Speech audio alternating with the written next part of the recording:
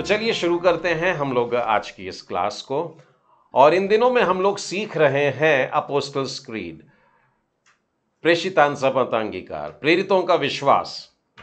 और आज इसी के अंतर्गत हम लोग सातवीं क्लास कर रहे हैं और ये सेवेंथ क्लास एक बड़े सुंदर से टॉपिक को लेकर के है।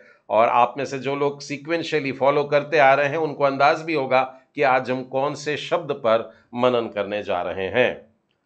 तो आरंभ का जो वाक्य है, हम लोगों का जो विश्वास प्रकट करने का होता है, वो यूँ है, मैं विश्वास करता हूँ सर्वशक्तिमान परमेश्वर पिता पर जो स्वर्ग और पृथ्वी का सृजनहार है और उसके एक लौते पुत्र हमारे प्रभु यीशु मसीह पर।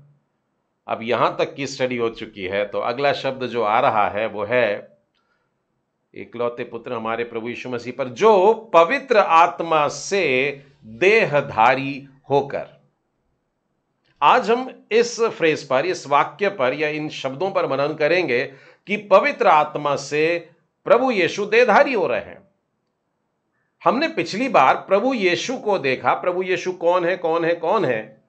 लेकिन आज हम उस बात पर गौर करेंगे कि वह परमेश्वर का पुत्र जब मनुष्य बनकर के आया तो वो कैसे आया? तो बाइबल बताती है, वो पवित्र आत्मा से देहधारी होकर आया। और ये ट्रांजिशन कैसा पॉसिबल हुआ? वो जो वचन था, वो वचन देहधारी हुआ। ये ये परिवर्तन कैसे हुआ? तो बाइबल बता रही है, पवित्र आत्मा से देहधारी हुआ। देखिए, मैं आज का जो मनन का विषय है, वो पवित्र आत्मा का स्टडी नहीं ले रहा हूँ। ये एक बहुत ही बड़ा विषय है। फिर भी यदि आप जानना ही चाहते हैं कि पवित्र आत्मा क्या क्या करता है तो मैं बड़ी तेज़ी से आपके सामने कुछ वचन रेफरेंसेस संदर्भ पढ़ देता हूँ। और ये लिस्ट पढ़कर बताने से पूर्व मैं आपको बताना चाहूँगा कि बहुत से लोग इस प्रकार से प्रश्न करते हैं कि पवित्र आत्मा क्या है? वॉट इज़ होली स्पिरिट और मेरे सामने कुछ लोग आ, आ, ऐसे कह रहे थे कि I will tell you what is holy spirit और उसके बाद वो शुरू करते हैं इट इज़ पावर एंड मैं कह देता हूँ नहीं ऐसा नहीं है। सबसे पहले तो प्रश्न पूछने वाले को मैं समझाता हूँ कि आप प्रश्न गलत कर रहे हैं।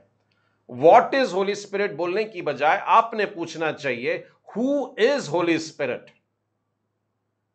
पवित्र आत्मा क्या है? यह प्रश्न गलत होता है। पवित्र आत्मा कौन है? जब हम कौन है कहते हैं तो हमारे अंदाज में आता है कि हम किसी व्यक्ति के बारे में बात कर रहे हैं। और वैसे ही अगर हम उसको इस तरीके से एड्रेस करें कि इट इज़ पावर क्योंकि साधारणता होता क्या है, लोगों को मालूम है, जब पवित्र आत्मा अंदर आता है तो बड़ी ताकत आ जाती है और फिर हम बड़े बड़े काम करने लगते हैं। ये पवित्र आत्मा की सेवकाइयों में से एक प्रतिशत की बात हो गई। यानी हम पवित्र आत्मा को कितना कम जानते हैं, ऐसा सोचिए। अगर आप केवल उसे एक सामर्थ्य समझते हैं जिससे बड़े बड़े काम होते हो तो अपने मन में इस बात को जान करके रखिए कि आज हम उस परमेश्वर पवित्र आत्मा की ओर देख रहे हैं, जो एक व्यक्ति है, और वो देह धारण करवा देने का या प्राण देने का या जीवन देने की सामर्थ्य रखता है। पर यह जीवन देने की सामर्थ्य के अलावा अगर आप यौना रचित सुसमाचार के सोलहवें अध्याय में देखें तो वहाँ पर लिखा है बड़े स्पष्ट आठवें वचन में कि पवित्र आत्मा आ, संसार को उसके पाप के विषय में और धार्मिकता के विषय में और न्याय के विषय में आ, याद दिलाता है उसको बताता है। और यौना ही के सोलहवें अध्याय के तेरहवें वचन में लिखता है कि पवित्र आत्मा संपूर्ण सच्चाई की तरफ़ हमको लेकर के जाता है। फिर तीतुस के पाँच तीसरे अध्याय के पाँचवें वचन में आपको मिलेगा कि पवित्र आत्मा हमें नया बनाता है। कल तक हम जो थे, उससे भी नया। और आज जो हूँ, कल मैं उससे भी नया बनूँगा। तो ये कैसे बनना संभव होता है? वो पवित्र आत्मा के द्वारा संभव हो पाता है। यदि योहन्ना के ही मैं सोलहवें अध्याय के चौदहवें वचन को देखूँ तो पता लगता है कि प्रभु यीशु के विषय में मुझे वो गवाहियाँ बताता है और प्रभु यीशु की महिमा को देखने के लिए मेरी सहायता करता है। लूका के चौथे अध्याय पहले वचन में प्रभु यीशु की अगुवाई किया था उन्होंने। पवित्र आत्मा यीशु को जंगलों में लेकर के जाता है। हमारे जीवन में ऐसे स्थानों पे जहाँ हमारी एग्जामिनेशन होता है और वो एग्ज़ाम को पास करना पड़ता है और फिर हम आगे बढ़ सकते हैं। मतलब हमारी तरक्की वाली एग्ज़ाम में हमारे आगे आगे चलने वाला पवित्र आत्मा होता है। और यदि रोमियो के पाँचवें अध्याय सोलह वचन में देखें तो वहाँ पता लगेगा, वो हमें शुद्ध करता है, वो हमें धोता है। और फिर जैसे आप जानते हैं, प्रेरितों के काम पहला अध्याय, आठवां वचन कि वो हमें सामर्थ्य से भर देता है ताकि हम उसकी गवाहियों को दे सके। इफिसियों के पाँचवें अध्याय, अठारहवें वचन में लिखता है कि वो तो हमें प्रतिदिन भरता है भरता है और भरता चला जाता है। यहूदा, पहला अध्याय, बीसवें वचन में लिखा है, वो हमें प्रार्थना करना सिखाता है।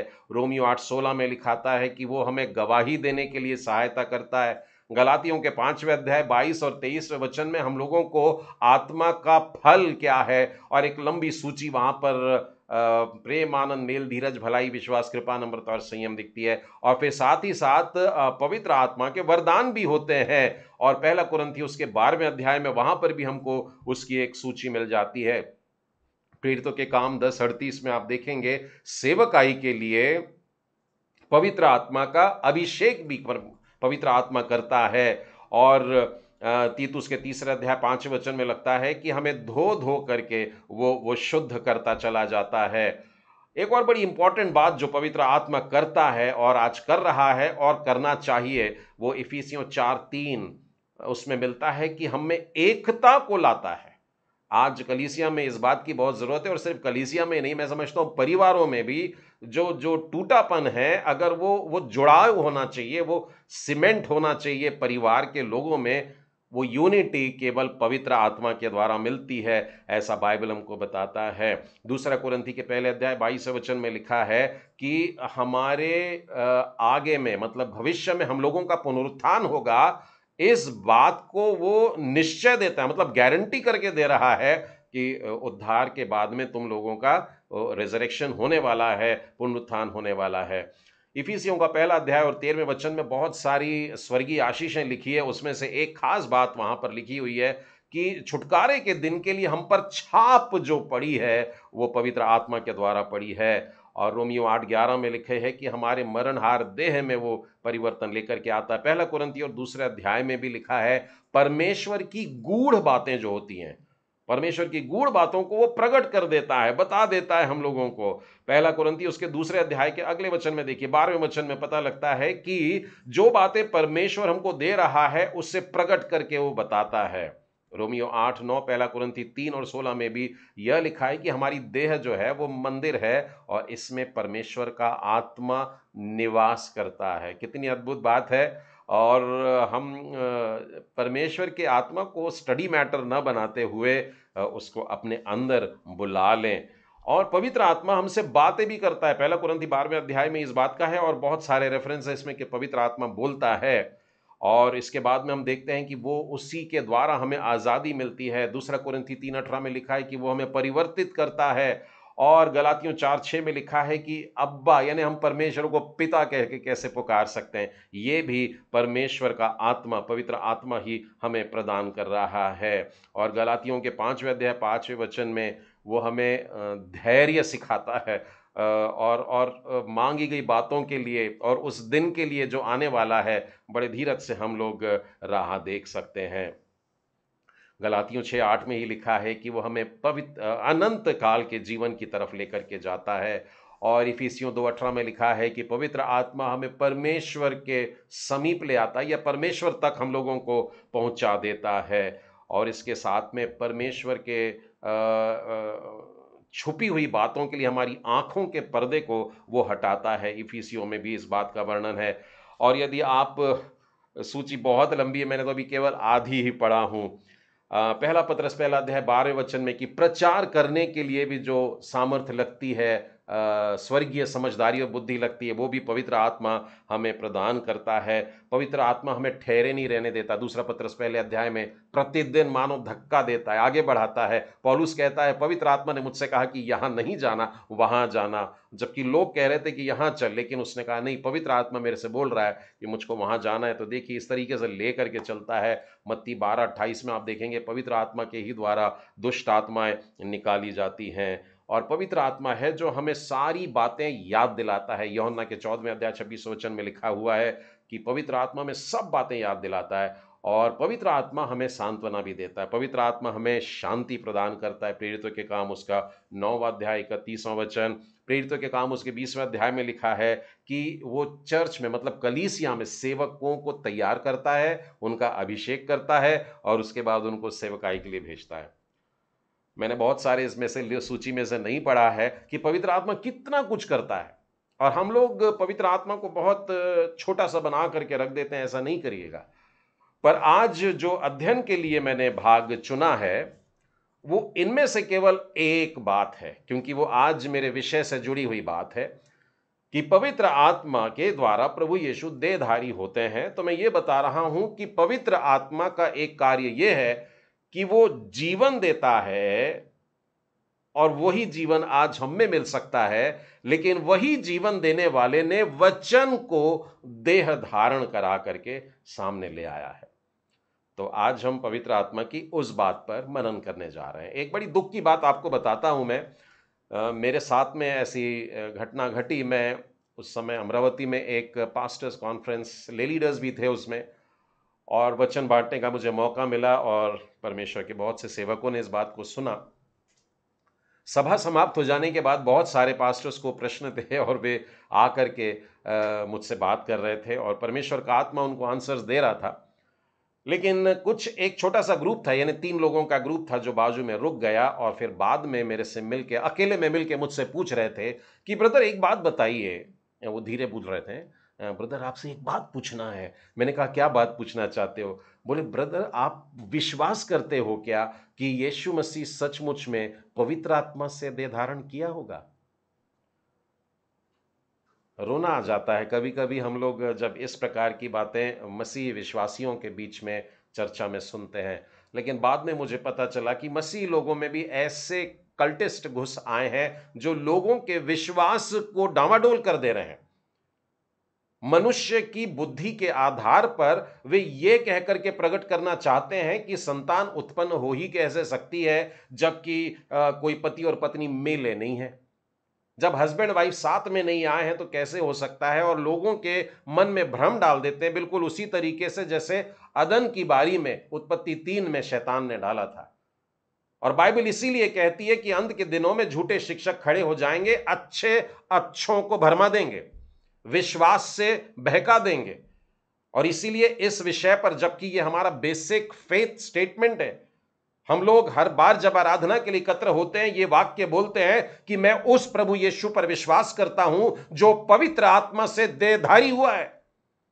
प्रभु यीशु मसीह के उस पवित्र जन्म को मैं विश्वास करता हूँ, ये बोलता हूँ। लेकिन अगर मन में मेरे पीछे अगर चार शंका की बातें उठती हैं तो मेरा मसीह जीवन किस काम का? और इसीलिए इस बात को आज थोड़ा ध्यान से समझेंगे कि प्रभु यीशु का पवित्र आत्मा के द्वारा देह धारण होने का क्या अर्थ होता है। मती रची सुसमाचार और उसका पहला अध्याय और उसके अठारहवें वचन में पहली बार इसका ज़िक्र होता है। यहाँ पर लिखा है, यीशु मसीह का जन्म इस प्रकार से हुआ कि जब उसकी माता मरियम की मंगनी यूसुफ के साथ हो गई तो उनके इकट्ठा होने से पहले ही वह पवित्र आत्मा की ओर से गर्भवती पाई गई। बहुत स्पष्ट लिख दिया गया है कि मरियम अपने मायके में है और यूसुफ अपने घर में है। अभी केवल इनकी मंगनी हुई है एंगेजमेंट हुआ है। अभी इन लोगों ने साथ में रहना शुरू नहीं किया है। लेकिन बाइबल बहुत स्पष्ट बताती है कि उनके एकत्र होने से पहले ही वह पवित्र आत्मा के द्वारा गर्भवती होती है। बाइबल का यह स्टेटमेंट बहुत स्पष्ट हम लोगों को कह रहा है कि प्रभु यीशु का जन्म पवित्र आत्मा के द्वारा हुआ है। और देखिए, आगे यूसुफ परेशान है। अब यह बात बढ़ी है, फैली है, यूसुफ तक पहुँची है और यूसुफ अपने मन में एक शंका को ला रहा था और उसे चुपचाप से त्याग देने की सोच रहा था। बीसवें वचन में देखिए क्या लिखा है। प्रभु का एक स्वर्गदूत उसको स्वप्न में दिखाई दे करके कहता है, हे यूसुफ, एक जनरल स्टेटमेंट नहीं है, एक स्वर्गदूत आया है और उसका नाम लेकर के उसके स्वप्न में उसको यह कहता है, डायरेक्ट संबोधन कर रहा है, हे यूसुफ, उसके बाद में उसका डेजिग्नेशन देखिए कैसे उठाता है, दाऊद की संतान। पता नहीं, इससे पहले यूसुफ को किसी ने दाऊद की संतान बोला होगा क्या? लेकिन दाऊद की संतान ये एक खास डेजिग्नेशन है जो मसीह के आने के पहले दिया जाना था, या मसीह के लिए है, दाऊद की संतान। और किसी के लिए नहीं, यहाँ पर लिखा है, हे यूसुफ, दाऊद की संतान, अर्थात प्रभु यीशु के बारे में अब कोई बात करने वाला है। और वहाँ पर लिखा है, हे यूसुफ, दाऊद की संतान तेरे मन की शंका क्या है? वो बोल रहा है, तू अपनी पत्नी मरियम को अपने घर लाने से मत डर।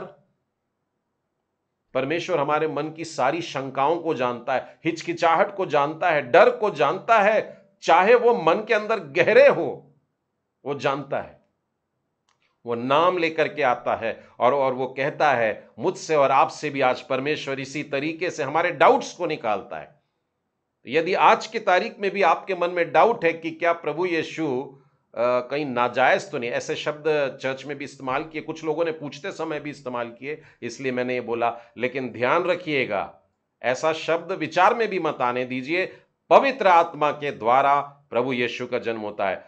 अब वो स्वर्गदूत बोल रहा है, हे यूसुफ दाऊद की संतान, अपनी पत्नी मरियम को अपने घर में लाने से मत डर, क्योंकि द रीजन इज़ मैं परमेश्वर से पूछ के आया हूँ, परमेश्वर की ओर से आया हूँ, तुझको बताने के लिए आया हूँ कि जो मरियम के गर्भ में है, वह पवित्र आत्मा की ओर से है।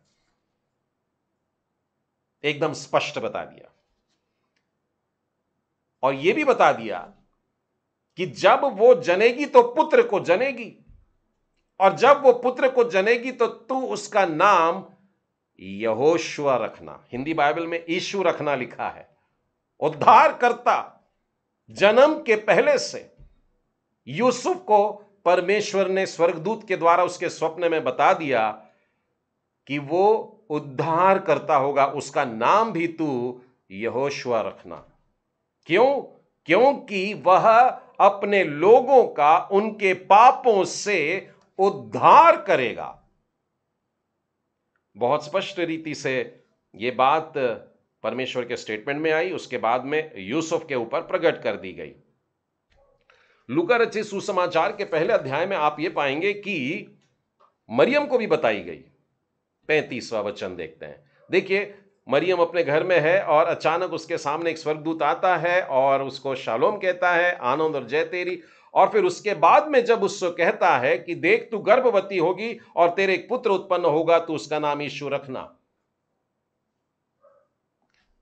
यहाँ पर मरियम इस बात से नहीं चौंक रही है कि हाय, इसको कैसे मालूम पड़ गया?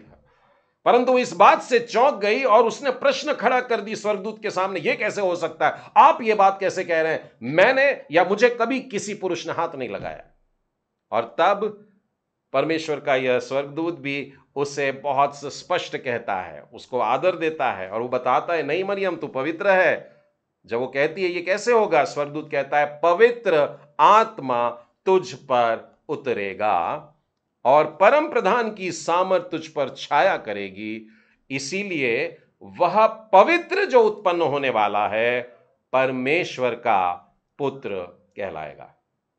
यहाँ पर हम देखते हैं कि मरियम को भी बहुत डायरेक्टली स्पष्ट बता दिया गया था कि ये संतान जो हो रही है, ये पवित्र आत्मा के द्वारा तेरे गर्भ में आया है। प्रभु यीशु उद्धार करता अब यहाँ तो मरियम को एक और शब्द बताया गया, परमेश्वर का पुत्र। परमेश्वर का पुत्र यानी परमेश्वर ने तुझे इस रीति से चुना है। तो हम ये बात देखते हैं कि मरियम पर परमेश्वर का आत्मा आ करके ठहरता है मेरे साथ में निकालिएगा उत्पत्ति की पुस्तक और उसका पहला ही अध्याय। और इस पहले अध्याय में आप पाएँगे, आरंभ के वचनों में परमेश्वर सृष्टि करता स्वर्ग और पृथ्वी को सिरज रहा है। दूसरे वचन में लिखा है, पृथ्वी बेडौल थी और सुनसान पड़ी थी और गहरे जल के ऊपर अंधियारा था, जिस पर परमेश्वर का आत्मा उस जल के ऊपर मंडराता था। थोड़ी देर पहले हम लोगों ने गीत गाया कि आत्मा मंडराता। और उसके बाद जितने भी स्टैंडा हैं, हम देख रहे थे, उसमें किसी में जान आ रही है। किसी के जीवन में कुछ अच्छा हो रहा है। वो जो कभी बोल नहीं सकता था, वो बोलने लगा, जो सुन नहीं सकता, वो सुनने लगा। वो जो मरा पड़ा था, वो वो वो जाग उठता है। और ये सब क्यों हो रहा है? क्योंकि आत्मा मंड रहा था पेंतकुस के दिन भी इसी तरीके से आत्मा मंड रहा था और वो सारिक पर आकर के ठहर जाता। और वे जो मरे हुए से थे, वे जो डरे हुए से थे, वे अचानक निडर हो जाते हैं और जीवित हो जाते हैं और परमेश्वर के काम में लग जाते हैं। तो इस अध्याय में अगर आप गौर करेंगे तो आप पाएँगे कि परमेश्वर का आत्मा कहाँ मंडरा रहा था, वो वो पृथ्वी पर, लेकिन पृथ्वी का रूप बताओ कैसा है? बेडौल है, शेपलेस है, कुछ भी नहीं है उसमें, और सुनसान भी है। लेकिन आपको मालूम है, ये उत्पत्ति का पहला अध्याय छठवें वचन में समाप्त हो जाता है। सातवें दिन का वर्णन दूसरे अध्याय में मिलता है। परमेश्वर ने सारी चीज़ों को बड़े सुंदर तरीके से अरेंज किया है। हालाँकि जब तोरा लिखा गया था, उस समय चैप्टर्स एंड वर्सेस नहीं थे। एक बार लिखना शुरू कर दिया तो लिखते गए लिखते गए लिखते गए और पूरे पचास अध्याय जो आज हम देखते हैं, वो एक मानो सिंगल पैरा में नज़र आते हैं। लेकिन परमेश्वर ने इस रीति से हमारी भलाई के लिए, हमको समझने के लिए इन बातों को किया। तो मैं देखता हूँ, जो आरंभ में बेडौल था और सुनसान था, उसको अब एक फॉर्म मिल गया। उसको, पृथ्वी को अब एक आकार मिल गया। एक एक व्यवस्थित है। पहाड़ है, नदियाँ हैं, समुंदर हैं और प्राणी हैं, सब व्यवस्थित है। और तो और लिखा है, पहले सुनसान थी, लेकिन अब भरी है। और जो खाली जगह उसके लिए परमेश्वर ने उनको आशीष दी, भर जाओ।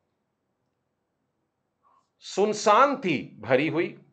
बेडौल थी, अब आकार है, लेकिन बीच में क्या लिखा है? परमेश्वर का आत्मा मनराता इसका मतलब यह है कि परमेश्वर का आत्मा जो है, वो जीवन लेकर के आता है।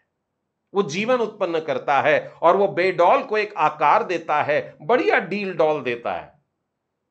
प्रभु यीशु के लिए भी यही शब्द इस्तेमाल किए गए, लूका के दूसरे अध्याय में। कि प्रभु यीशु डील डॉल में और परमेश्वर और मनुष्य के अनुग्रह में बढ़ता गया था। और यहाँ पर हम देखते हैं कि पवित्र आत्मा इस कार्य को कर रहा है, जो कि सृष्टि की रचना से जुड़ा हुआ है। उत्पत्ति के ही दूसरे अध्याय और उसके सातवें वचन में देखे, यहाँ एक वाक्य बड़े गौर से सुनिएगा। और आप लोग बाइबल निकाल करके और जिनके पास बाइबल नहीं है, प्लीज़ स्क्रीन पर वचनों को पढ़ सकते हैं। और यहोवा परमेश्वर ने आदम को भूमि की मिट्टी से रचा। संडे स्कूल की क्लासेस में हम लोग ऐसे ही बताते हैं कि मिट्टी लेकर के ऐसे उसमें से आकार बना दिया, जैसे कि मानो एक मनुष्य का आकार हो और एक मूर्ति जैसा आकार नज़र आ रहा था। लेकिन उसके बाद में लिखा है, और उसके नथनों में जीवन का श्वास फूंक दिया। इस इस शब्द के लिए दूसरे ट्रांसलेशंस बताते हैं कि परमेश्वर ने अपना आत्मा डाल दिया। परमेश्वर का आत्मा डाल दिया। और आदम जीवता प्राणी बन गया। जब तक परमेश्वर ने आत्मा हमारे अंदर नहीं डाला, तब तक हम में प्राण नहीं थे। और सबोपदेशक की पुस्तक यही बताती है कि जब वो प्राण निकल जाता, जब उसकी दिव्य श्वास निकल जाती है, तब मिट्टी वापस मिट्टी में चली जाती है। इसका मतलब मुझको प्राण देने के लिए भी, या मानव जाति के अंदर जो उसने दिया, वो अपना श्वास था, जो जो उसके अंदर चल रहा था परमेश्वर के अंदर, और उसने मानो झुक करके उस उस मिट्टी के आकार पर फूंक दिया, उसके नथनों में फूंक दिया, ताकि वो नथनों से भी वो श्वास चलती रहे, और परमेश्वर का आत्मा उसके अंदर जीवन को देता रहे। तो परमेश्वर का आत्मा अपने बेसिक कैरेक्टर में क्रिएशन ऑफ़ लाइफ रखता है, यानी प्राण की या जीवन की उत्पत्ति को रखता है। इस बात को ध्यान में रखें। पवित्र आत्मा का पहला या मूल कार्य क्या है? कि वो उत्पन्न करता है, और क्या उत्पन्न करता है? जीवन उत्पन्न करता है। यौना रचित सुसमाचार और उसके छठवें अध्याय में आएँगे। यौना रचित सुसमाचार के छठवें अध्याय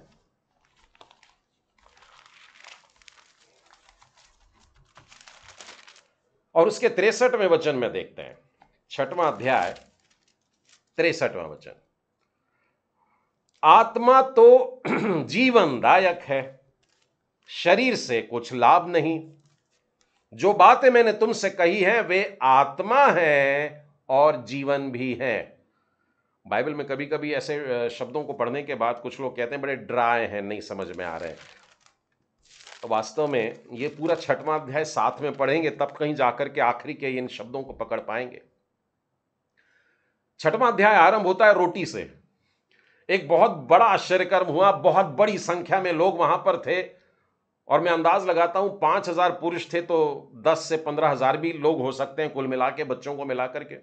बहुत बड़ी भीड़, और इन सब लोगों को प्रभु यीशु के हाथों से रोटी मिल जाती है मछली मिल जाती है और बड़े तृप्त हो जाते हैं, बड़े खुश हो जाते हैं और उन लोगों को लग रहा था कि इसको राजा बना देते हैं तो बड़ा अच्छा रहेगा।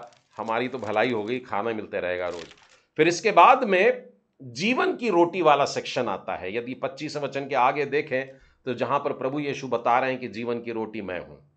और फिर उसके बाद में अपनी देह के बारे में, रोटी और अपने लहू के बारे में वो बता रहे हैं। अब यहाँ पर बता रहे हैं कि अब मेरा आगमन फिर से होगा। मैं बासठवें वचन में देखिए, यदि तो मनुष्य के पुत्रों को जहाँ वो पहले था और वहाँ ऊपर जाते देखोगे तो क्या होगा? तो प्रभु यीशु ने आगे की बात को भी बता दिया, लेकिन देखिए एक मुख्य वाक्य कह रहा है, आत्मा तो जीवनदायक है, मनुष्य किस पर मन लगाए? हम लोग रोज की रोटी पर बहुत मन लगाते हैं। सुबह उठते साथ ही हम लोग सोच में पड़ जाते हैं कि आज क्या बनाने का है, क्या खाने का है। लेकिन परमेश्वर कह रहा है, वचन से पहले। वचन क्यों? शरीर से कुछ लाभ नहीं होता है। जो बातें मैं तुमसे कहता हूँ, वे आत्मा है। अब यहाँ पर ध्यान से सुनिएगा, विशेष करके वे लोग जो परमेश्वर से पवित्र आत्मा मांगते रहते मांगते रहते और बड़े उदास हैं कि अभी तक मिला नहीं। प्रभु यीशु क्या कह रहे हैं? जो बातें मैं तुमसे कह रहा हूँ, वे आत्मा है।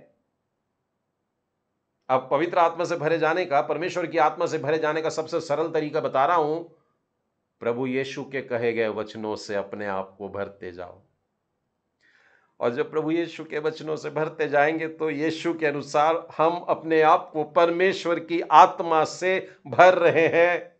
और वहाँ पर लिखा है, यह आत्मा भी है और जीवन भी है। इसी में एक और वचन मैं आपके सामने रखता हूँ, अट्ठावनवा वचन, जो रोटी स्वर्ग से उतरी यही है, उस रोटी के समान नहीं जो बाप दादाओं ने खाया और मर गए, जो कोई यह रोटी खाएगा, वह सर्वदा जीवित रहेगा। प्रभु यीशु अपने बारे में कह रहे हैं, प्रभु यीशु अपने वचन के विषय में कह रहे हैं।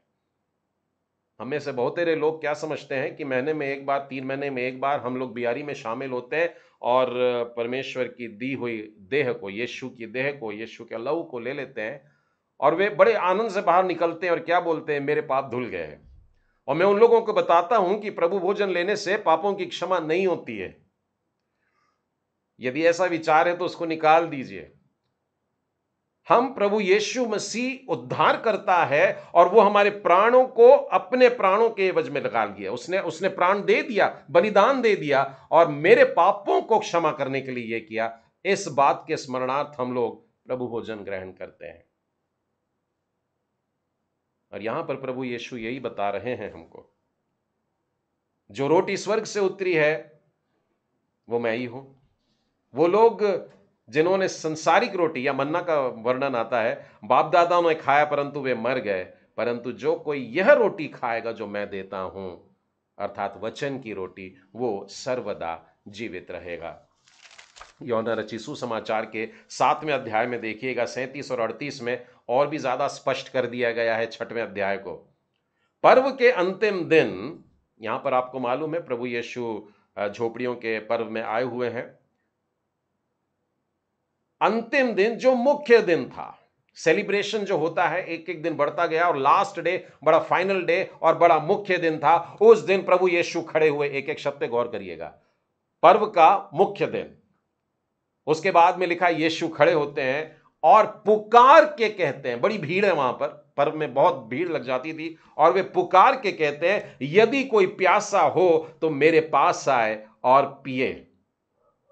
अड़तीसों वचन देखिए उस प्रश्न को आपके मन से निकाल देगा, उस उत्तर में है, जो मुझ पर विश्वास करेगा, जैसा पवित्र शास्त्र में आया है, उसके हृदय में से जीवन के जल की नदियाँ बह निकलेगी। प्रभु यीशु की बातों को सुनना है, बातों को ग्रहण करना है, उस पर विश्वास करना है, और जब हम ऐसा करते हैं, यीशु ने कहा, उसके हृदय में से हृदय से मतलब है कि जहाँ जान है हमारी। यहाँ हम लोगों का, मानो हार्ट बीट होता है, सारे शरीर में खून बहले के लिए यहाँ पर परमेश्वर ने हृदय दिया हृदय में से जीवन के जल की नदियाँ बहेगी। जो पवित्र आत्मा से देधारी हुआ, वो पवित्र आत्मा का वो गुण उसमें है और वही प्रभु यीशु के मुँह के निकले शब्द हैं जो वचन कहलाते हैं, जो वचन देधारी हुआ, क्योंकि ये वचन परमेश्वर है। अब कहता है, ये वही बात है जो तुम्हारे अंदर जब आ जाएगा तो तुम्हारे अंदर से जीवन जल की नदियाँ बह निकलेगी। अब जब जीवन जल की नदियाँ हम में से बह रही हैं तो समझ जाइए कि हम में भी स्वयं जीवन आ जाता है। जीवन जल की नदी का वर्णन आया है। यशयाल की पुस्तक और उसके बत्तीसवें अध्याय को देखें। यशया नबी की पुस्तक चैप्टर नंबर थर्टी टू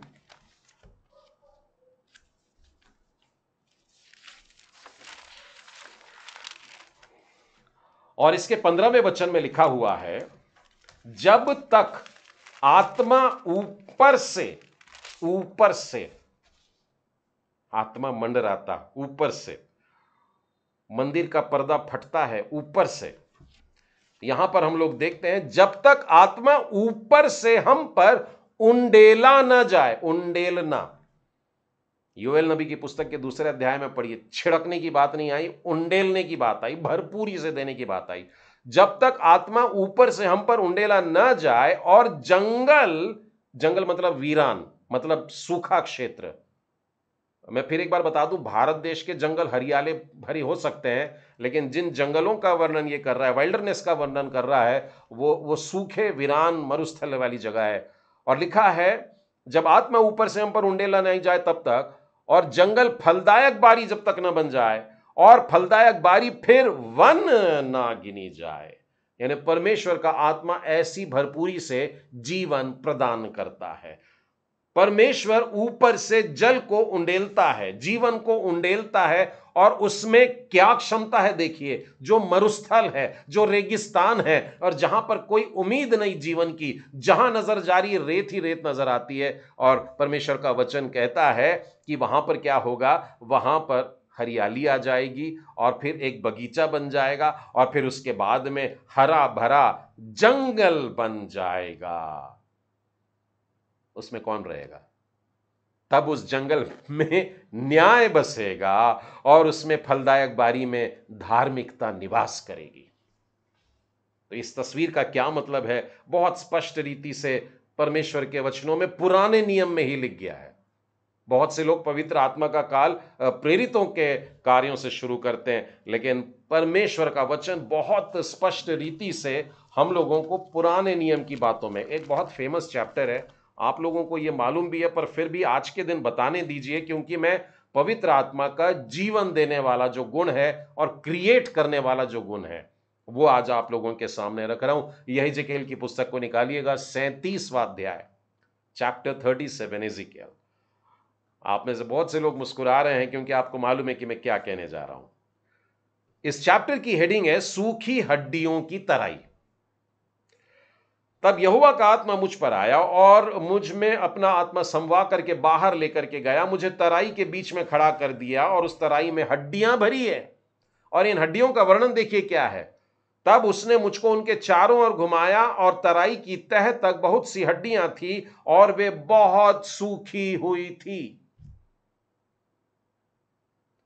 कुछ लोगों का कहना है किसी को हार्ट अटैक अगर आ जाता है और आप जल्दी से उसका ट्रीटमेंट दो मिनट, तीन मिनट के अंदर कर देते हैं रिवाइव कर सकते हैं रिसस्टिकेट करते हैं तो उसको फिर से हार्ट चलने लग जाता है। थोड़ी डिले हो गई है तो वो इलेक्ट्रिक शॉक्स देते हैं। कभी कभी कोई एक महँगा इंजेक्शन आता है। लेकिन अगर आप आधे घंटे के बाद एक हार्ट पेशेंट को डॉक्टर के पास में लेकर के जाएँगे तो वो हाथ खड़े कर देता है, बोलता है, बहुत देर हो गई, अब कुछ नहीं हो सकता। लेकिन परमेश्वर का आत्मा जो है वो जीवन देता है और कुछ नहीं में से भी उत्पन्न कर लेता है। और यहाँ पर लिखा है, मैंने बहुत सारी हड्डियाँ देखी। हड्डियाँ, और वो भी कैसी हड्डियाँ? सूखी हड्डियाँ। पता नहीं बरसों से पड़ी हुई ऐसी सूखी हड्डियाँ वहाँ पर है। बहुत सूखी हुई लिखा है वहाँ पर और तब आत्मा मुझसे पूछ रहा है, या ले जाने वाले ने मुझसे पूछा, है मनुष्य के संतान, क्या ये हड्डियों में जान आ सकती है? अब मनुष्य मन हमको क्या मालूम है? आ, मैं तो नहीं जानता यानी मनुष्य के हिसाब से नहीं हो सकता लेकिन परमेश्वर पिता आप ही जानते हैं।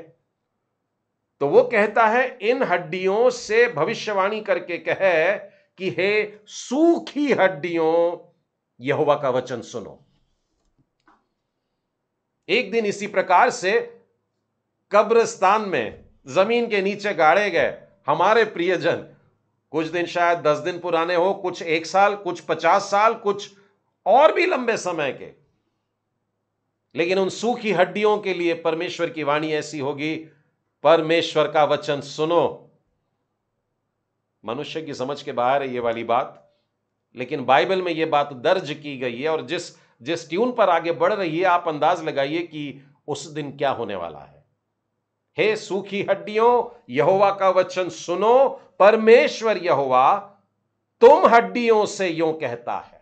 तुम हड्डियों से कह रहा है, देखो, मैं आप तुम में सांस संवाऊँगा। तुम जी उठोगे, तुम्हारी नसें उपजाकर मांस चढ़ाऊँगा, तुमको चमड़े से ढांपूँगा, फिर तुम में सांस समवाऊँगा। उत्पत्ति के आपने दूसरे अध्याय में पढ़ लिया था। सांस समवाऊँगा और तुम जी जाओगे और तुम जान लोगे कि मैं यहोवा हूँ। और जब ये बोल करके बताते हैं तो लिखा है सातवें वचन के आगे लिखा है इस आज्ञा के अनुसार मैं भविष्यवाणी करने लगा। परमेश्वर की बहुत सारी बातें बहुत सारी आज्ञाएँ बहुत सारे आ, हम लोगों के पास में परमेश्वर के मानो निवेदन है जो हमसे कह रहा है ये करो ये करो ये करो। और जो नहीं करते वो इस आश्चर्य कर्म से वंचित रह जाते हैं, परंतु जो इस असंभव भात के सामने भी यह कहते कि प्रभु जी, असंभव है, लेकिन आप बोलते हैं, इसलिए करूँगा। शिमोन पत्रस ने कहा, नहीं आने वाली मछली पर तू बोल रहा है प्रभु जी, इसलिए मैं डालूँगा। इसलिए वो असंभव बात को भी करते हैं। तो इसने लिखा, इस आज्ञा के अनुसार मैंने भविष्यवाणी कर दी और जब मैं भविष्यवाणी कर ही रहा था, अभी बोलना ही शुरू किया यह परमेश्वर का वचन है, सामर्थ्य से भरा हुआ वचन है, जो उसने मुझे दिया। वचन, मैंने पहले ही बताया, यीशु ने कहा, वचन यानी क्या? वचन यानी परमेश्वर का आत्मा। जब हम परमेश्वर का वचन बोलते हैं तो परमेश्वर का आत्मा बहता है और वो जीवन उत्पन्न करता है। आप अपने उन मित्रों को याद करिए जिन्होंने अभी तक उद्धार प्राप्त नहीं किया है, जो आज भी मरे हुए हैं। जब आप उनसे प्रभु यीशु के वचन बोलेंगे तो आप नहीं परमेश्वर का आत्मा बहेगा। वो जो अंदर आपके हृदय के अंदर जीवन जल की नदियाँ हैं, वो बह निकलेगी। मुँह खोलने के कारण, और बाइबल बताती है, हरकत होती है। क्या होता है? जब जब वो भविष्यवाणी कर ही रहा था तो आहट सुनाई दी। खड़खड़ खड़खड़ खड़खड़ सुनाई दिया। ये क्या हो रहा है? तो बोले, हड्डियाँ हिल रही हैं। ऐसा लगा भूडोल हो गया, क्योंकि सारी तराई में हड्डियाँ ही हड्डियाँ थी। अब वो हरकत के कारण इकट्ठी होने लगी, वो हड्डियाँ हड्डियों से जुड़ने लगी, और फिर मानो एक स्केलेटन बन के तैयार हो गया। फिर उसके बाद में आप पढ़े आगे नशे उत्पन्न हो गई, बाद में मांस चढ़ गया, और उसके ऊपर चमड़े से वो ढप जाते हैं। परंतु एक चीज़ की कमी रह गई और वो है परमेश्वर का प्राण उत्पन्न करने वाला आत्मा। वहाँ पर शब्द है श्वास। प्रभु यीशु भी अपने शिष्यों के ऊपर एक बार फूंकते हैं और फू करके, फूंकते हुए बोलते हैं, पवित्र आत्मा लो। परमेश्वर का श्वास वो पवित्र आत्मा। और लिखा है यहाँ पर, उनमें सांस नहीं थी, तब उसने मुझसे कहा, हे मनुष्य के संतान, अब तू सांस से भविष्यवाणी कर। अब तू सांस से बोल, अब तू श्वास से प्रार्थना कर। और तू ऐसा बोलना कि, हे श्वास, चारों दिशाओं से आकर के इनमें समा जाओ। उसकी इस आज्ञा के अनुसार, दसवें वचन में लिखा है, उसकी इस आज्ञा के अनुसार मैंने भविष्यवाणी की, तब श्वास उनमें आ गई और वे जी कर अपने पाँव के बल खड़े हो गए और एक बहुत बड़ी सेना तैयार हो गई। सेनाओं का यह यहोवा यहोवा परमेश्वर, जो सेनाओं का यहोवा है, सेना खड़ी हो गई, कहाँ से खड़ी हुई? हड्डियों में से खड़ी हो गई। तो पहला दृश्य क्या था? सूखी हड्डियों का ढेर था। और और दूसरी तरफ़ हम क्या देखते हैं? इसी दृश्य का परिवर्तन क्या हुआ? वहाँ पर सैनिक खड़े हो गए, सेना खड़ी हो गई, परमेश्वर की सेना खड़ी हो गई है। तो बीच में क्या हरकत हुई है? हड्डियों का जुड़ना? मांस का चढ़ना? नसों का चढ़ना? क्या क्या ये सब होने के बाद भी लिखा है, कोई फ़ायदा नहीं, मरे पड़े थे। लेकिन जब परमेश्वर का आत्मा उनमें फूका गया, परमेश्वर का श्वास उनमें डाल दिया गया, तब वे खड़े हो गए। तो मेरे जीवन में मैं हरकत देखता हूँ, हड्डियों का हड्डियों से जुड़ना देखता हूँ। मैं बाइबल पढ़ता हूँ मेरे को बहुत अच्छा लगता है। और जब मैं घुटनों पर आकर के प्रार्थना करता हूँ तो बहुत अच्छा लगता है। जब मैं किसी को जाकर के वचन सुनाता हूँ तो बड़ा अच्छा लगता है। ये सब क्या है? ये हड्डियों का, हड्डियों से जुड़ना हो गया। ये ये नसों का चढ़ना हो गया, मांस का चढ़ना हो गया, सब कुछ मानो मनुष्य का रूप। लेकिन एक खास बात अभी भी छूट गई और वो है परमेश्वर का आत्मा। बहुत सारे प्रियजन, विशेष करके जवान लोग मुझसे पूछते हैं कि हम लोग अपनी जवानी के दिनों में स्ट्रगल करते हैं और पाप से लड़ने के लिए कोशिश करते हैं। तो अंकल, हमें कोई ऐसा तरीका बताइए कि हम पाप के ऊपर जय प्राप्त कर सकें। प्रभु यीशु से भी एक बार एक जन ने ऐसे ही पूछा था, स्वर्ग के राज्य में प्रवेश करने के लिए क्या करूँ? मैं तो बचपन से ये सब आज्ञा मानते आ रहा हूँ, कोई नई बात बताइए। तो वो नई बात यही है कि आज के जीवन में हम लोगों को प्रलोभनों के ऊपर जय पाने से, शैतान के ऊपर जय पाने के लिए वचन की अधिकाई हम में रखना है, जिसे पवित्र आत्मा कहते हैं। परमेश्वर का आत्मा जब हम में आता है तो केवल पाप का बंधन नहीं तोड़ता। मैं वचन बताऊँगा आपको एक। परंतु पाप का जो असर है, पाप की जो ताकत है, उसको भी नाश करता है। जब जब प्रलोभन आएँगे तो सामने हम बड़े सीना तान के खड़े हो सकते हैं, उसका सामना कर सकते हैं। तो यहाँ पर हमने यही जिकेल की पुस्तक में देखे कि जो एकदम कमज़ोर थे, जो मरे हुए थे, जो सूखे हुए थे, जिनसे कोई उम्मीद नहीं थी, परमेश्वर का आत्मा उनके अंदर जीवन भर देता है, उत्पन्न कर देता है। उत्पन्न करने वाला जीवन। एक यही जिकेल के ही छत्तीसवें अध्याय में, एक अध्याय पहले आइए, मैं पच्चीसवें वचन से छिड़क, पढ़ता हूँ। परमेश्वर योवा यो कहता है, मैं तुम पर शुद्ध जल छिड़कूँगा। ये शुद्ध जल क्या है, देखिए। और तुम उससे शुद्ध हो जाओगे और मैं तुमको तुम्हारी सारी अशुद्धता और मूर्तों से शुद्ध करूँगा, मैं तुमको नया मन दूँगा। बहुत से लोग स्ट्रगल करते हैं, मैं अपने आप को चेंज करना चाहता हूँ। हम लोग अपने आप को चेंज नहीं कर सकते। बाइबल बताती है, परमेश्वर करता है। परमेश्वर हमारे अंदर एक नया मन देता है। मैं तुमको एक नया मन दूँगा और तुम्हारे भीतर नई आत्मा उत्पन्न करूँगा। दाऊद भी अपने भजन इक्यावन में यही कह रहे हैं, मेरे भीतर शुद्ध मन उत्पन्न कर और तेरी आत्मा मुझे नए सिरे से प्रदान कर। नया मन दूँगा, तुम्हारे भीतर नई आत्मा उत्पन्न करूँगा और तुम्हारी देह में से पत्थर का हृदय निकाल कर तुमको मांस का हृदय दूँगा। सत्ताईसों वचन भी पढ़ लेते हैं। मैं अपना आत्मा तुम्हारे भीतर देकर, देखिए, शब्द पर गौर करना, परमेश्वर अपना आत्मा, परमेश्वर का आत्मा मनुष्यों को मिलता है। मैं अपना आत्मा तुम्हारे भीतर देकर। पहला कुरंती तीसरा अध्याय सोलह वचन, तुम्हारी देह मंदिर है और उसके अंदर आत्मा निवास करता है। क्या तुमको यह बात नहीं मालूम? डोंट यू नो दैट मैं अपना आत्मा तुम्हारे भीतर देकर ऐसा करूँगा कि तुम मेरी विधियों पर चलोगे। For the people who struggle to walk in the way of the Lord जो लोग बड़ा संघर्ष कर रहे हैं कि परमेश्वर को पकड़ के कैसे चले, और धार्मिकता में कैसे चले, और शुद्ध जीवन कैसे बताएँ, जीवन जिए। परमेश्वर का वचन कहता है, जब मैं अपना आत्मा तुम्हारे भीतर देकर ऐसा करूँगा कि तुम मेरी विधियों पर चलोगे और मेरे नियमों को मानकर तुम उनके अनुसार करोगे। तो हम जिन बातों के लिए संघर्ष कर रहे हैं, आप पूरी पूरी समर्पण के साथ में हम अपना जीवन प्रभु के हाथों में दे दें।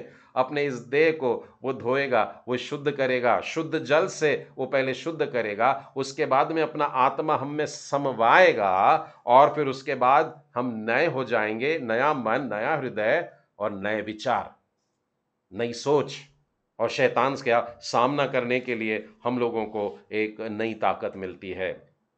यशय नबी की पुस्तक, उसका चौवालीसवा अध्याय और उसके आरंभ के वचन देखते हैं। दूसरा और तीसरे वचन में देखिए। लिखा है, तेरा कर्ता यहोवा, जो तुझे गर्भ ही से बनाता आया। केवल प्रभु यीशु ही नहीं है जिसके मरियम के गर्भ में आने से पहले पवित्र आत्मा उसको रचता है, बनाता है, तैयार करता है फॉर्म करता है। लेकिन यही वचन मेरे लिए लिखा है, यही वचन आपके लिए लिखा है कि तेरा कर्ता यहोवा, जो तुझे गर्भ ही से बनाता आया और तेरी सहायता करेगा। यहाँ पर पास्ट टेंस प्रेजेंट टेंस और फ्यूचर टेंस यानी परमेश्वर लगातार हमारे साथ। इमानुएल, गर्भ में वो हमें तैयार कर रहा है। और बनाता आया मतलब उसका प्रोसेस ऑफ़ फॉर्मिंग अभी भी चल रहा है। Every day he is renewing us प्रतिदिन मुझको बनाता जा रहा और ये बनाने की बात गर्भ अवस्था से शुरू हो गई। मेरे जन्म के नौ महीने पहले से ये बात शुरू हो गई और परमेश्वर मुझको बनाता आया बनाता आया और बाद में भी लिखा है, मेरी सहायता करेगा, इसलिए मुझको डरने की ज़रूरत नहीं है। वचन में लिखा है, परमेश्वर कहता है, मत डर। मत डर।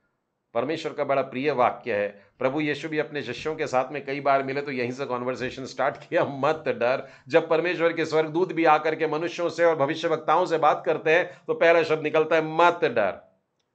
पर मत डर के बाद में कारण बता रहा है, क्यों मत डर? क्योंकि मैं प्यासी भूमि पर जल और सूखी भूमि पर धाराएँ बहाऊँगा। मैं तेरे वंश पर अपनी आत्मा और तेरे संतान पर अपनी आशीष उंडे लूँगा। प्रभु यीशु को हम देखते हैं जो पवित्र आत्मा से देहधारी हुआ। और इतने सारे उदाहरणों में हम ये देखते आ रहे हैं कि पवित्र आत्मा का एक सबसे प्यारा, सबसे पहला, सबसे मूल गुण यह है कि वो उत्पन्न करता है जीवन। नयापन। पुरानी बातें सब खत्म करके नया करता है। यर्मिया नबी की पुस्तक का पहला अध्याय जनरली जवान लोगों के लिए पढ़ा जाता है, पर आज मैं उसमें से भी दो चार वचन पढ़ना चाहूँगा। इर्मिया नबी की पुस्तक और उसका पहला अध्याय। अब देखिए, यहाँ पर यूँ लिखा है, पाँचवें वचन से आगे, गर्भ में रचने से पहले ही मैंने तुझ पर चित्त लगाया। तो पिछले वचन में तो हमने देखा गर्भ से बनाता हुआ आया, लेकिन अब पता लग रहा है कि गर्भ में आने से पहले भी परमेश्वर मेरे पर चित्त लगाया, मेरे ऊपर ध्यान किया। मनुष्य तो मुझको मेरे जन्म के दिन से जानते हैं और आजकल के डॉक्टर्स अपनी टेक्निक के कारण मेरे जन्म के नौ महीने पहले से डॉक्टर मुझको देख सकते हैं। लेकिन मेरा परमेश्वर यहोवा मुझको मेरे जन्म के केवल नौ महीने पहले से नहीं, परंतु लंबे काल या आरंभ से मुझको वो जानता है। गर्भ में रचने से पहले ही मैंने तुझ पर चित्त लगाया, उत्पन्न होने से पहले मैंने तेरा अभिषेक किया, मैंने तेरे जातियों का भविष्य वक्ता ठहराया। और हम देखते हैं कि वो डर जाता है, बोलता है, प्रभु जी, मैं कुछ नहीं बोल सकता। परमेश्वर उसको डांट के कहते हैं, मत कह कि मैं लड़का हूँ, क्योंकि जिस किसी के पास मैं तुझको भेजू, वहाँ तू जाएगा और जो कुछ मैं तुझे आज्ञा दूँ, वह तू कहेगा। तू उनका मुख देख कर मत डर, क्योंकि तुझे छुड़ाने के लिए मैं तेरे साथ हूँ। नौवे वचन में गौर करिएगा कि परमेश्वर इर्मिया से, एक एक डरे हुए बालक से, एक जवान से क्या कह रहा है? तब यहुआ ने हाथ बढ़ाकर मेरे मुँह को छू लिया, और यहुआ ने कहा कि देख, मैंने अपने वचन को तेरे मुँह में डाल दिए।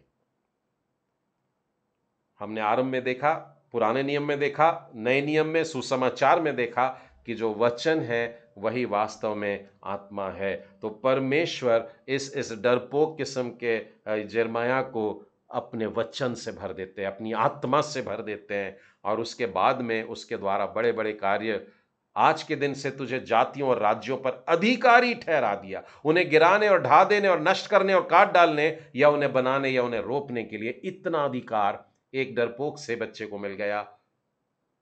परमेश्वर जब अपना आत्मा हमें प्रदान करता है, बिल्कुल इसी तरीके से एक असमंजस में पड़े हुए व्यक्ति को हम देखते हैं, योहन्ना के तीसरे अध्याय में जहाँ पर प्रभु यीशु उसको समझा रहे हैं, और वो तो यहूदियों में, फरीसियों में उनका शिक्षक था, उनका गुरु था। मैं निकोदेमस की बात कर रहा हूँ। छठवें वचन में देखिए क्या लिखा है। इस बात को पूरा समझने के लिए पैसेज ले लेना ज़रूरी है, लेकिन मैं अब अंदाज लगा रहा हूँ कि आप इस बात को समझते आ रहे हैं। तीसरे अध्याय के छठे वचन में लिखा है, जो अपने शरीर के लिए बोता है, वह शरीर के द्वारा विनाश की कटनी काटेगा, परंतु जो आत्मा के लिए बोता है, वह आत्मा के द्वारा अनंत जीवन की कटनी काटेगा। जहाँ पर परमेश्वर का आत्मा आता है, वहाँ पर जीवन आता है। वहाँ पर कितना भी सूखा होगा, वहाँ कितनी भी निराशा होगी, लेकिन जब पवित्र आत्मा आता है तो वह हम लोगों के लिए जीवन को लेकर के आता है। मेरे साथ में निकालिएगा गलातियों की पुस्तक और उसका छठवां अध्याय और उसके आठवें वचन को। सातवें वचन से पढ़ते हैं, धोखा ना खाओ परमेश्वर ठट्टों में उड़ाया नहीं जाता, क्योंकि मनुष्य जो कुछ बोता है, वही काटेगा। आज हम किस तरीके से अपना जीवन जी रहे हैं, बिता रहे हैं, हम क्या बो रहे हैं? आठवां वचन कहता है, जो अपने शरीर के लिए बोता है वह शरीर के द्वारा काटेगा, बोलना था, पर कहता है, विनाश की कटनी काटेगा। विनाश शब्द वहाँ पर आया है। परंतु जो आत्मा के लिए बोता है वह आत्मा के द्वारा काटेगा, नहीं लिखा, परंतु लिखा है, अनंत जीवन की कटनी को काटेगा। तो परमेश्वर का वचन आत्मा के चलाए चलने वालों के लिए बहुत स्पष्ट कह रहा है। परमेश्वर का वचन आज के जीवन को पवित्र आत्मा के हाथ में दे करके चलने वालों के लिए कहता है मैं, और आप कई बार सोचते हैं कि प्रभु यीशु का जीवन कितना प्यारा था। काश हमारा जीवन भी वैसी होता। बाइबल बताती है, परमेश्वर ने बिल्कुल उसी के लिए हमें रचा है। प्रभु यीशु की तरह हमारा जीवन हो, स्वभाव हो, बातें हो, हरकत हो, सामर्थ हो आश्चर्य कर्म हो, प्रेम हो, दया हो सारी बातें बिल्कुल वैसी ही जैसे यीशु में होती है, क्योंकि हम भी परमेश्वर की संतान होते हैं। और ये कब संभव होता है? जब हमारा जन्म हो। निकोदेमस को यीशु ने कहा, तेरा नया जन्म होना ज़रूरी है। और जब नया जन्म को समझाने की बात आई, तब परमेश्वर ने आत्मा से जन्म लेने के लिए कहा। मेरे मित्रों, जब हम अपने प्रेरितों के विश्वास को बोलते हैं तो हम ये कहते ज़रूर हैं कि यीशु पर विश्वास करता हूँ, जो पवित्र आत्मा के द्वारा देहधारी हुआ, लेकिन ऐसा बोल करके हम आ, उठा करके यीशु को किसी शेल्फ के ऊपर सजा के मत रख दीजिए। प्रभु यीशु का पवित्र आत्मा के द्वारा देह धारण करके यहाँ पर आना एक ट्रांसफॉर्मेशन था। परमेश्वर उसी आत्मा के द्वारा मेरा जीते जी ट्रांसफॉर्मेशन करता है। सामरी स्त्री का ट्रांसफॉर्मेशन हुआ, जक्कई का ट्रांसफॉर्मेशन हुआ, निकोदेमस का ट्रांसफॉर्मेशन हुआ, आज मेरा भी हो। जब हम इस प्रकार की बात को अपनी जबान से अंगीकार करते हैं, बोलते हैं, परमेश्वर की की बातें बोलते हैं, परमेश्वर की बातें सुनते हैं, परमेश्वर का आत्मा हम में हरकत को लेकर के आता है। एक और वचन निकालिएगा, रोमियो की पुस्तक और उसके आठवें अध्याय में। और उसके आरंभ के दो वचन देखते हैं। अतः अब जो मसीह यीशु में है, उन पर दंड की आज्ञा नहीं है। पूर्ण विराम। और बहुत से लोग इतना वचन करके बड़े आराम से टिक जाते हैं कि अरे वाह, हम तो बच गए। क्यों बच गए? हम चर्च जाते हैं तो हमने यीशु के बारे में सुना है तो हमने यीशु को ग्रहण कर लिया है तो हम पर दंड की आज्ञा नहीं। एक मिनट, ये वाक्य पूरा नहीं हुआ है। ये वचन कंप्लीट नहीं हुआ है। आठवां अध्याय और पहला वचन अभी और भी है, और उसमें ब्रैकेट में वहाँ लिखा हुआ है, और वो शब्द शुरू होता है, वाक्य शुरू होता है, क्योंकि से। इसका मतलब ऊपर का जो सेंटेंस है it is very much dependent on the second part दूसरे बात पर निर्भर करता है। तो मसीह यीशु में जो है, उन पर दंड की आज्ञा नहीं, ये आधी बात है। आगे समझे, क्योंकि वे शरीर के अनुसार नहीं, परंतु आत्मा के अनुसार चलते हैं। अब बोलिए, मुझ पर दंड की आज्ञा नहीं। यानी इस वचन को वास्तव में ऐसे लिखना था कि अब जो मसीह यीशु में होकर शरीर के अनुसार नहीं, परंतु आत्मा के अनुसार चलते हैं, उन पर दंड की आज्ञा नहीं है। प्रभु यीशु का जी उठना क्यों हुआ? पवित्र आत्मा के द्वारा हुआ। जन्म भी, पुनरुत्थान भी और उठा लिया जाना भी। और वचन कहता है, वही आत्मा जिसने यीशु को मरे हुओं में से जिलाया, तुम्हारी मरणहार देह को भी एक दिन फिर से जिलाएगा।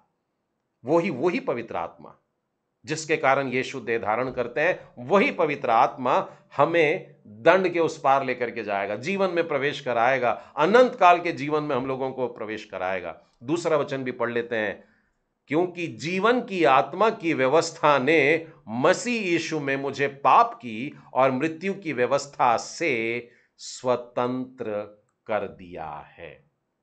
एक पाप की व्यवस्था जिसको बाँध के मैंने अपने आप को बंधन में पाया, जो व्यवस्था की बात है जिसमें मैंने आप बंधन में पाया, आज मैं इस जीवन की आत्मा, परमेश्वर की आत्मा, वो मुझको यीशु के कारण उसमें से आज़ाद कर देती है।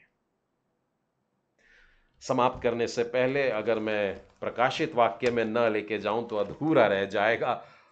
उत्पत्ति एक भी देखा हमने तो बाइबल की आखिरी पुस्तक के आखिरी अध्याय में आई है बाईसवा अध्याय और उसके पहले और दूसरे वचन को देखिए। स्वर्ग का जो दृश्य है, मैं परमेश्वर पिता को देख रहा हूँ और दाहिने हाथ पे लिखा है, परमेश्वर पुत्र को देख रहा हूँ। अब आप बताइए, परमेश्वर आत्मा कहाँ पर है? प्रकाशित वाक्य बाईसवां अध्याय, पहला और दूसरा वचन पढ़े, थोड़ा समझेंगे। फिर उसने मुझे बिल्लौर की सी झलकती हुई जीवन जल की नदी दिखाई। ये लास्ट चैप्टर की शुरुआत है और जिस व्यक्ति ने योहन्ना को स्वर्ग घुमाया है, उसने कहा है, देख देख, क्या देख? बिल्लौर की सी, एकदम शुद्ध स्पॉटलेस कोई गंदगी नहीं, एकदम शुद्ध, पवित्र, झलकती हुई, जीवन के जल की नदी देखिए, जीवन के जल की नदी हमारे हृदय से फूटने की बात होती है। ये जीवन की जल की नदी कब फूटेगी? जब हम यीशु का दिया हुआ पी लेते हैं। यीशु में क्या दे रहे हैं? वचन दे रहे हैं। यीशु में क्या दे रहे हैं? आत्मा दे रहे हैं। तो जीवन जल की नदी को दिखाया, जो परमेश्वर और मेमने के सिंहासन से निकली है। प्रभु यीशु ने कहा, मेरा पिता के पास में जाना बहुत ज़रूरी है, क्योंकि मैं पिता के पास जाऊँगा और तुम्हारे लिए विनती करूँगा और पिता से तुम्हारे लिए पवित्र आत्मा को दूँगा। और वो मेरी बातों में से लेकर के तुम्हें सिखाएगा और वो मेरी ही महिमा करेगा। इसका मतलब है, परमेश्वर और मेमने के सिंहासन से निकलती है। और कहाँ जा रही है, देखिए। उस नगर के सड़क के बीचों, बीच बहती है। क्या यह नदी का अनुभव हम आज कर रहे हैं? क्योंकि स्वर्ग का राज्य बाइबल कहती है, आज है, यही है। और परमेश्वर ने अपने वायदे के अनुसार, और इन दिनों में मैं अपना आत्मा उंडेलूँगा। पानी उंडेला जाता है नहीं, तरल पदार्थ उंडेला जाता है, जल उंडेला जाता है, जीवन का जल उंडेला जा रहा है, और वो बीच से बह रहा है। सारा सूखापन खत्म हो जाए। प्रभु यीशु का जो जन्म हुआ है वो पवित्र आत्मा के द्वारा देहधारी हुए, उनका पूरा जीवन पवित्र आत्मा से भरा हुआ, पवित्र जीवन, उनके मृत्यु के समय में भी वे पवित्र पाए जा रहे हैं। उनके पुनरुत्थान और उनके पुनरुत्थान के बाद के चालीस दिन उनका उठा लिया जाना और यह भी कि वो फिर से वापस लेने को आते हैं। बड़ा विश्वास योग्य ये पवित्र आत्मा का कार्य है। यदि वही पवित्र आत्मा हमारे अंदर निवास करता है तो मैं और आप प्रभु यीशु के सदृश्य बन जाते हैं। परमेश्वर की संतान बन जाते हैं। आइए हम लोग प्रार्थना करें। प्रेमी परमेश्वर पिता, सर्वशक्तिमान, प्यारे प्रभु जी, हम आपको धन्यवाद देते हैं प्रभु जी कि आपके वचन के द्वारा फिर एक बार आपने हमें छुआ है। आपके वचन जो हम में आते हैं, जो हमारे कानों से सुनते हैं प्रभु जी, आपका वचन बताता है लूक आठ में कि यह वचन बीज है जो फलदायी होता है। आपका वचन सामर्थ्य है और खाली नहीं जाता। और बिना अपना कार्य किए वापस भी नहीं पहुँचता। प्रेमी परमेश्वर पिता, आज हमने पवित्र आत्मा को एक नए तरीके से देखा है कि वो हम में प्राण को उत्पन्न करता है, वो हम में एक नयापन उत्पन्न करता है, वो पुराना सब कुछ धो देता है, शुद्ध कर देता है, हमें पवित्र कर देता है और नए जीवन को जीने की सामर्थ्य देता है। सारी व्यवस्था के, पाप के बंधनों को प्रभु जी तोड़ करके हम उस पर जयवंत हो पाते हैं पवित्र आत्मा के द्वारा। पवित्र आत्मा के द्वारा ही हमें जीवन का श्वास जो आपने भरा है प्रभु, हम में चलता है और आपके दिन तक चलता भी रहेगा, प्यारे प्रभु। आपका वचन कहता है, जो मुझमें से लेता है, जो मुझ पर विश्वास करता है, उसके अंदर से जीवन के जल की नदियाँ फूट निकलेगी। हे प्रेमी परमेश्वर पिता, आज इस वचन को सुनने वाले प्रत्येक प्रियजन को आप अपने इस जीवन जल की नदी से भर दीजिए प्रभु। उंडेलिए अपने इस जल को प्यारे परमेश्वर, जो अपने जीवन को सूखा हुआ कह रहे हैं, इसी क्षण प्यारे परमेश्वर आपका अद्भुत हाथ बढ़ा करके उन पर अपना हाथ रखिए। जैसे आपने यर्मिया से कहा कि मत बोल कि तू कमज़ोर है, मत बोल कि तू बच्चा है, क्योंकि देख, मैं तुझे छू लेता हूँ, मैं अपने वचन को तुझ में भरता हूँ, मैं अपनी श्वास को तुझ में भरता हूँ, मैं अपना आत्मा तुझ में भरता हूँ। तू अब उठ और बढ़। परमेश्वर के राज्य के और उसके जीवन की बातों को दूसरों को बांटता फिर। हे प्रेमी परमेश्वर पिता, हम में से प्रत्येक को प्रभु परमेश्वर आपके स्पर्श की आवश्यकता है, आपके श्वास की आवश्यकता है, आपकी सामर्थ्य की आवश्यकता है, आपके प्रेम की आवश्यकता है, आपके जीवन की आवश्यकता है। आपकी नज़रें दीजिए प्रभु, आपकी नज़रों की दया दीजिए प्रभु, जो कंपैशन आप अपनी आँखों में रखते हैं, हम भी जब दुनिया को देखें तो उसी कंपैशन से भरे। हे प्रेमी परमेश्वर पिता, हम विश्वास करते हैं कि प्रभु यीशु का जन्म पवित्र आत्मा के द्वारा हुआ है, ना कि किसी गलत काम से या पाप के कारण, और मरियम पूरी पवित्र है और जिस रीति से उसने जन्म दी, और जैसे यूसुफ ने भी प्रभु जी मरियम को अपने घर में लेकर के आया, और जब तक वो पुत्र को न जन्म दे दी, तब तक उसको छुआ भी नहीं। प्रेमी परमेश्वर, इन बातों को स्पष्ट तरीके से सुसमाचार में देकर आपने हमारे विश्वास को और बढ़ाया है। हम आपके नाम को ऊँचा उठाते हैं। फिर एक बार अपना जीवन हम प्रभु जी आपके हाथों में इसलिए देते हैं कि हमारे इस मंदिर में आपका डेरा हो जो आपकी इच्छा है, प्रभु, आपका आत्मा हम में निवास करना चाहता है, हमारी देह को प्रभु हम आपके हाथों में सौंपते हैं।